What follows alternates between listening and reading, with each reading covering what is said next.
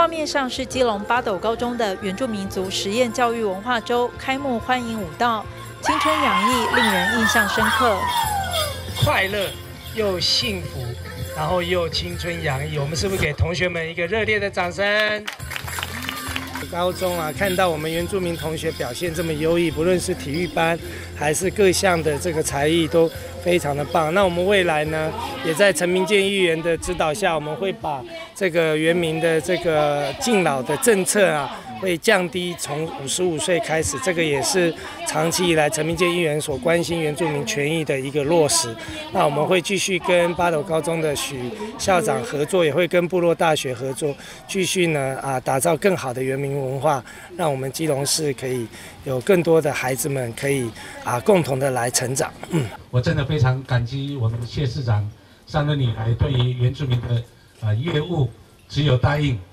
没有阻止啊！只要跟我们谢市长来有所争取，像刚刚讲的一个敬老卡，从以前一直争取到现在，大概我们谢市长一口就答应了哈。在这边再次感谢我们谢市长对我们原住民呃各项福利的这样的一个支持啊支持，再次的祝福大家。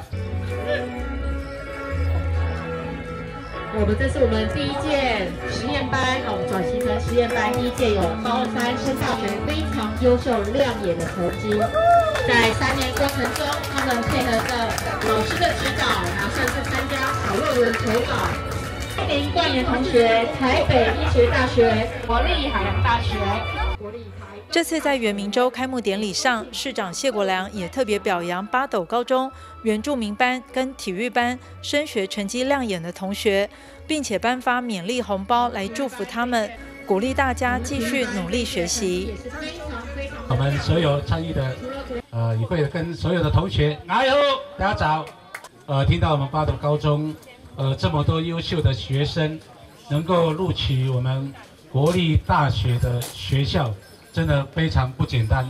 这个我想也是我们八中建校以来最好最好的一个成绩哈。呃，在这边也要非常谢谢我们市长对我们八中，尤其我们这些体育班跟原民班的学生的这样的一个勉励。呃，这里边呃更要感谢我们八中的这样的一个师生们，为了我们原住民实验班，呃，能够啊带出。好的，这样的一个气象，我想会有更多更多的学生在我们八中啊，尤其体育班或是原民实验班能够入学，呃，这是我们一直期待的。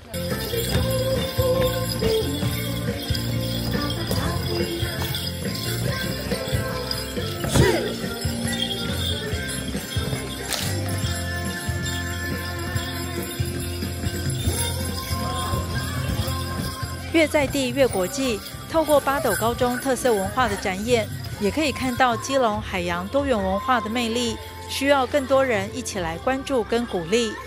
记者黄日升、陈淑平，接龙报道。